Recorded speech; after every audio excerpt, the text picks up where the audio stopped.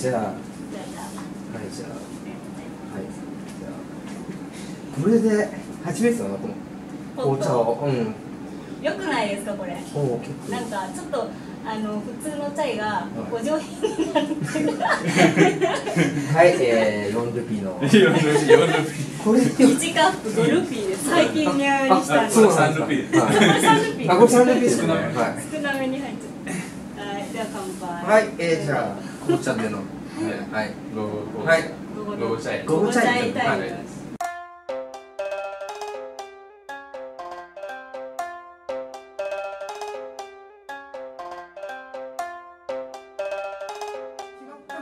タイム午後チャイタイムですね。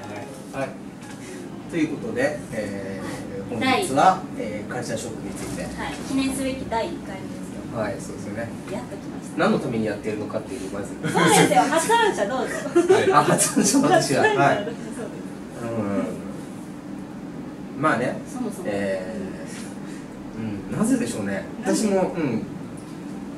なんかここだけの話あの、うん。普段はね3人で話してはいるんですけれども、うん。それをね世界の世界といっても多分視聴者2人ぐらいなんですよ。二人で多分ね 同じ悩みとか、うんはい。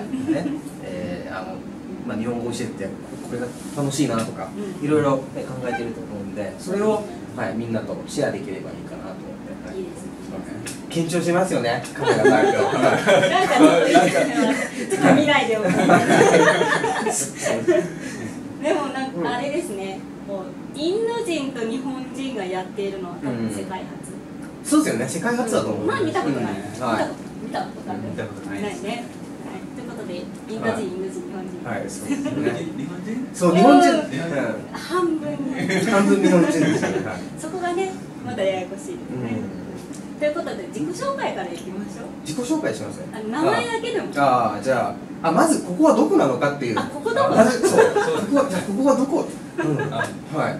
えー、とここは、えーインドあ。ハイデラバード市内にある国立大学で、えー英語外国語大学と日本語で訳して訳しちゃいけないかもしれないですけど English and Foreign Languages University あという大学の。下に下にこう。下にここら辺に編集者。下にここら辺あそうですよね。字幕が字幕っていうか。あと地図も。ハイデラバードはいここら辺。えーでその中にある、えー日本語学科の、はえー学科室？はいそうです。主任主任がいないんですけど。だけど学室を借りて。はいしてますそうですはいはいはいではい自己紹介どうぞああそうですねえーっと日本語を教えてます。えーあるんです。はい。日本語を教えています。ゆきのです。日本語を教えてます。タリクです。はい。まあ日本語しか教えられない。そうですね。共通語は日本語っていうね。日本語ですよね。はい。まあベンガル語もしてもいいしこここの共通語はベンガルル語で。語。はい。ここは、まあ三人だとと日本語で。日本語ですここだと二人だと？二人だと二人えヒンディー語ですかね。多いですあヒンディー語混じりの日本語。あ日本語混じりのヒンディー。日語本語マジであー。英語は使わないんです英語は使わないですね。えーはい。ところどころ英語の単語。をそうそうそうそう。単語はね。あそれは、ええ。あとはあそうですよね。はい。インドはみんな英語の単語がうん何混じってるか。20%ぐらい英語の単語混じって。るそう。ちなみに僕ら三人ともうん。その現地の言葉喋れないんですか喋れない喋れない、はい。何語でしたっけ？テルグ語ですね。はい。あうまくそれを。はい。テレグ語ですね。はい。じゃあじゃあまあ今日の今日のそのテーマにね行きましょうか、うんまあちょっと簡単に触れて。はい。じゃあ今日は何について？はい、今日のテーマはカルチャーショックです。はい。あのあお二人は、えー日本への留学経験があるので、インドから日本に行った時に受けたカルチャーショック。私はまあ日本からインドに来た時のカルチャーショックおよびまあ小さい時にインドに住んでたので、インドから日本に行った時のカルチャーショック。はいちょっと話してみましょう。結構ネタがありそうですけど まあね、小さい時の話を掘り起こしますか。あれは20年前。前のいやそこまでじゃない怖い怖い。覚えてるか20年いやそれはもうカルチャーショックだったことは覚えてまあす。なんかない？衝撃を受けません？なんかえー、うん。未知の世界。ああの特に私はシャンティニケタンがまあ独特なんですけど、うん。ウエストベンガルにあるシャンティニケタンっていうところで10歳まで大きくなって、うえーあの学校が木の下が教室だったんです、ん。なのでこう木の下で勉強してすごく開放的だったんですけど日本に行った時に40人学級のこの小さな教室にバーって詰め込まれて何この狭いところでみんな勉強してるのって思ったのがすごい覚えてます。でその時はうん。インド人はみんな木の下で勉強してるっていうイメージだったんですそうそうそう。いやでも他のなんか小さな学校とかも見たことあるんですけれども、うん、どっちかっていうとそこまでこうつゴミゴミしていないっていうイメージだったのが、で木の下で勉強したんですか？してないしてないですよねあれはあれはあれはシャンティニケタンだけどそうなんでえーしかもシャンティニケタンの小学校だけですかね。小中学校。小中中中学校までであとはあの僕がシャンティニケタンで教ももうあの学部生とかはもう普通の教室があってあ教室で。あうん。あそうですか。まあそのやはりきみんな木の下で勉強してるのかなということで、えーカルチャーショック。全然関係ない。木の下じゃなかった。木の下じゃなかったっていうのが、はい、主なポイントですね、うんなんかはい特殊ですけどね。あ僕らのカルチャーショックっていうのはまあ多分共通してるところはあると思うんですけどね。まあ、カルチャーショックなのかどうかわからないんですけどね。電車の中で大人が漫画を読む。そのそのそれがね私まあ、カルチャーショックというか一体何なんだろうっていうその、うん。うん、あのまあどちらかというと面白いなと思ったんですよね、漫画という文化がね。そう。しかもあのねインドだと子供だけの子供だけのものでで少し高校生とかになると、えーまあ、密かに読むっていう。あそうですね。そうなん真面目な人だけじゃなくてあの西洋もそうだと思うんですけど、あの大人が漫画を読むっていうのは日本独特の文化なのかもしれない。ですよねはい。まあ、最近はみんな携帯見てるんですけど、まあ、携帯の中にこう、まあ、まあ携帯。で漫漫画をそう漫画をやるっていう。それとあとはコンビニですかね。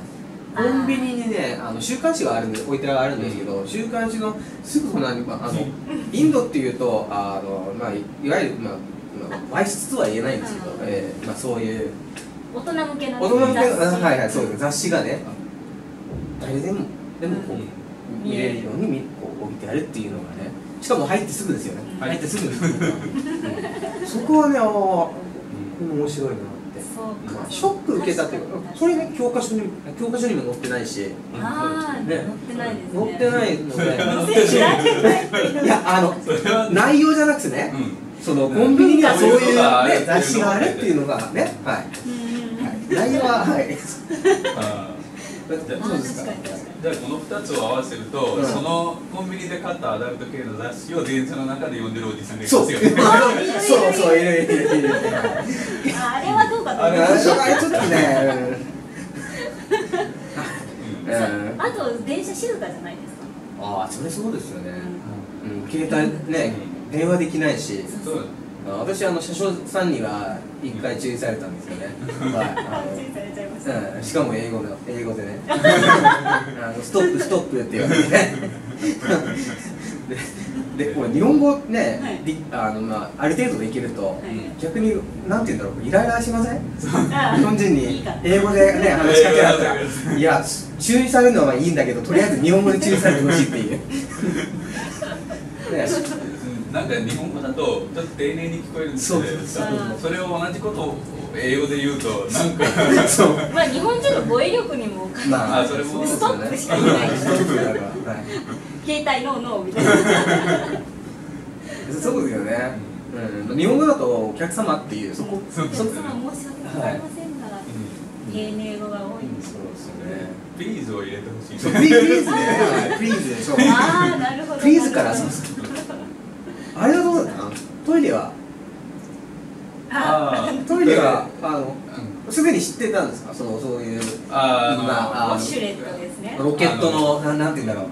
ウォシュレットと言います。あウォシュレット。ウォシュレット。ウォシュレットね、うん、まあそうですね。あの初めて行った時は寮だったんですけど寮のトイレは普通のトイレだったので、あんまりそういうのはなかったんですけど、えホームステイ？ホームステイとかでそうですね。初めてそういうすごい技術のトイレを見てびっくりした、はい先端技術ですね。先端技術本当に。本当に。あれはあれはすごい。ここまでかよっていう。あれは日本人が誇るべき技術だと。思う、え。ちょっとインドにもないね。流行らないかな。ああいやあれじゃない？停電とかあるからあ途中でねそう最悪最悪ああとね電圧もね。ああ確かにいきなり強くなあるーだから水圧もこうなんかわかんない。まあこれもう乗せられませんよこの。いやいいんじゃないですかね、インドはうん半手動式ですよね、そうですねはい。一応ちゃんとノズルがついてて、うん。ウォシュレットあるじゃんってありますよね。あ高齢者向けですよねあれは。うん、高齢者向うん高齢者向けのまあその家庭がそれを購入するっていうのははい。でも今や結構全そうですね最近。全員結構いいああどこどこにもでも使わないでしょ？使使わないです。使わないですよね。やはりそのあのなんなんていうんだろうそのマークマークじゃなくてその手でこそっちかそのえーっとその話はい、えー、日本語の学習者皆さん このようにこれはなんだ？これは何でしょう、はい、ここでクイズで考えてみましょうこれで？すやはりねポッドキャストだったらこれこれって言ってもわからないから。そうこれなんだろう？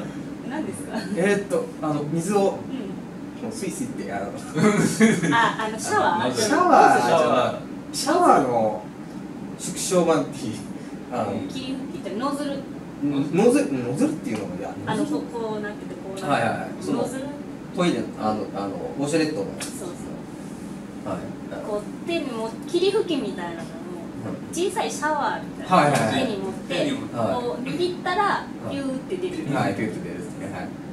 でそれを使って絶対言葉があると思う。んですいやそれ作ってる会社。この間ら。あのアメリカ人が書いた記事を読んでたんですけど、うん。あれはインドしかないって書いてああそっかやっぱり。トイレットペーパーですね。そう。そう。ですよね。水で洗う文化っていうのが多分ああそう。ないんああまああの東南アジアはどうかなあスリランカとかはね。ああのああと、えー、イスラム圏の国々は全て水。あ水ですかね。はい。ああそうですですねまあ日本もなぜか水になってきたっていうね。はい。不思議。まあそうですよね。今までずっとちり紙だった。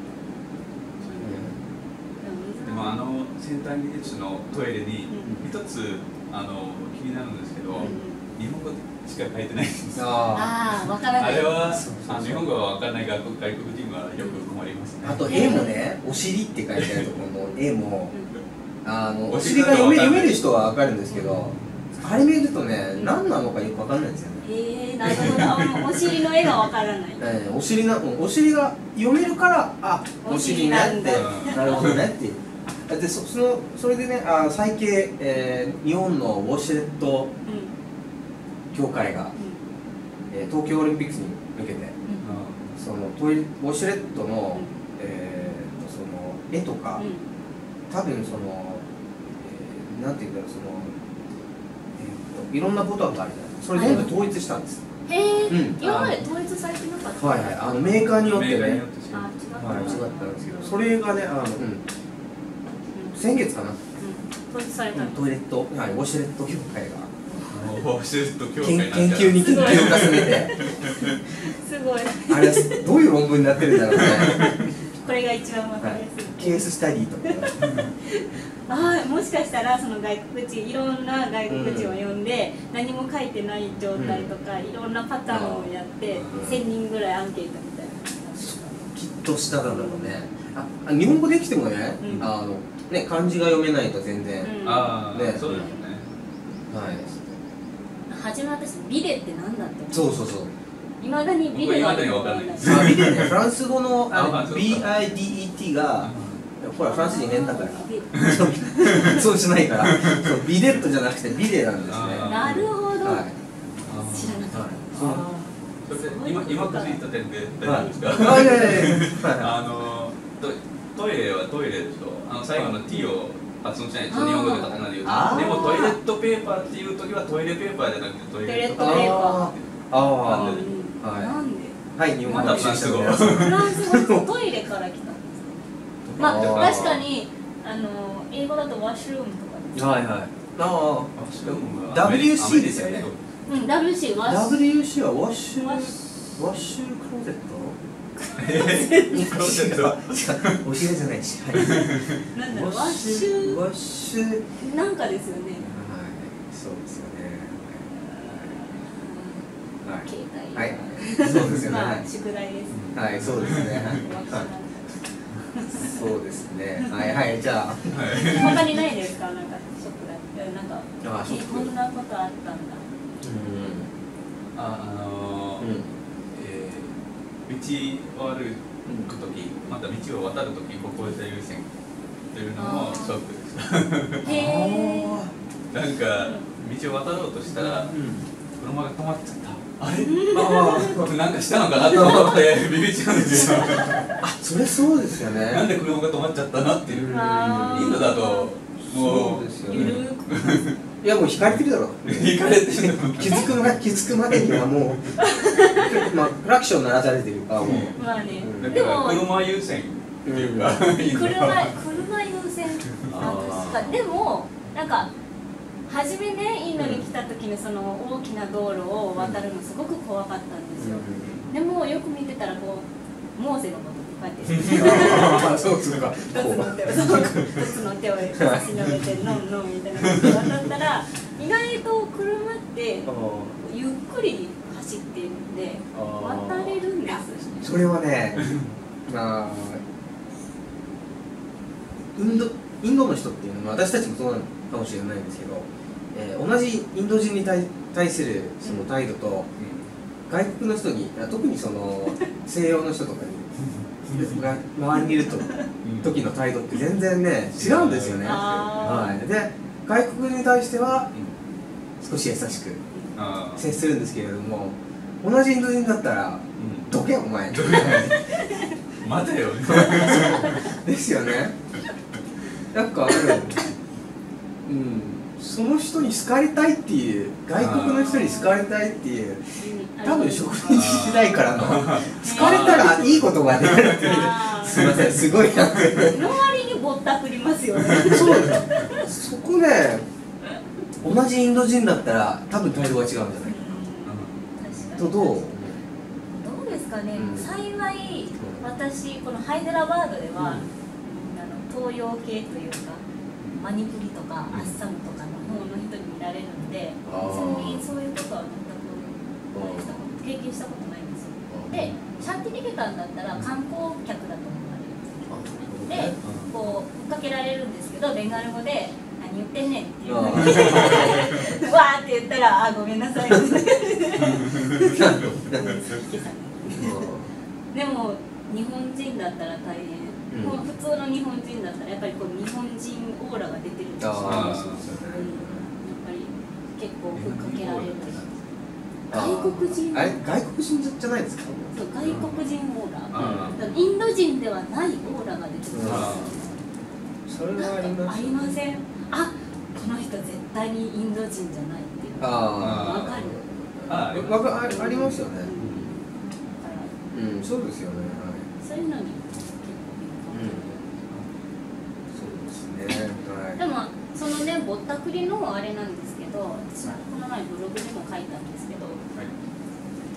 あここで宣伝ですか？あありがとうございます。はいブログを書いております、えーここに。あこのこのアドレスをよろしくお願いします。あのインインドの人たちのまあざっくり言いますけどインドの人たちの概念としてこう貧しい人たちには施しを。うん。であのお金持ちは貧しい人たちその下の人たちに対してあげるのは当然だっていうなんか概念があるのかなと思って逆を言うと貧しい人たちはおおお金持ちからもらって当たり前っていうそういう権利があるみたいなそうそう。まあと思うんですよね。っていうのはそのあのヒンズー教の話になりますけど、うん。あのブラフマンはブラフミンの上の人たちは、その下のスードラの人たちとかに施しをあげるっていうのが、うんまあそれが当たり前だった。時代もあったやっぱりなんか日本人も普通の日本人だったら、うん。いやななんであげなきゃいけないあの？あうん。普通の対価うん。当たり前っていう世界じゃないですか、でもなんかインドに来て思うのはそのふっかけられるふっかける方の心理は、いやあなたたちは私たちの何十倍も給料もらってるし豊かな生活してるんだから、これくらいは払えるでしょ。そうですね。あじゃあチップの文化もそうかそうかもしれないですよね。はい。日本だとチップはもうそううんね。ねだからまあそういう考えのもとふっかけてきてるのかなっていうのを最近考えて、ああでそこでなんか納得いった。なるほどね。なので私はいや私は払いません なぜ払わ